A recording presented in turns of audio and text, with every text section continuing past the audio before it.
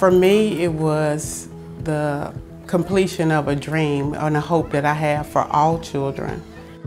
We needed to figure out a way to use our outdoor environment and make it a classroom. The children became a part of the process. We took down a fence, we installed a pathway, and instantly the children started to move more. We've added a, a pollinator garden, so we are able to attract insects and butterflies, and we have birdhouses.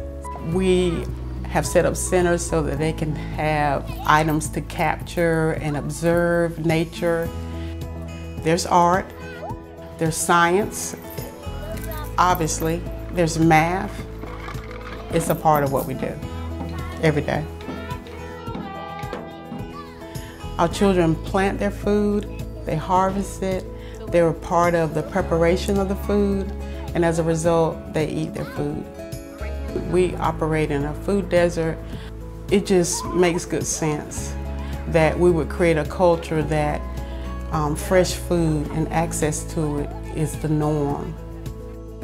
One, our cook staff, that our garden is a resource for them. Currently, we are harvesting all of our lettuce. We're able to share that in the classrooms, teaching and cooking opportunities, and then we have enough surplus that our families are able to take a package home with them for dinner. We talk about building brains, but we're also building palates.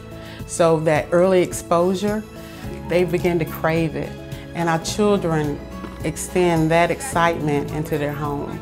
So we're finding our parents expanding their vocabulary about food and items that they're willing to try.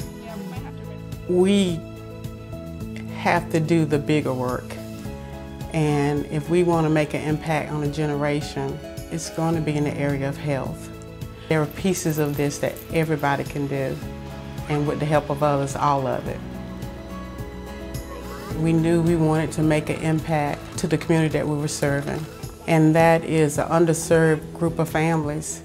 And we wanted this to be a place that they could come and that it would be hopeful and that they could see that there is opportunities to do anything that you want to do. We want to say that we changed the culture here. I think I see blueberries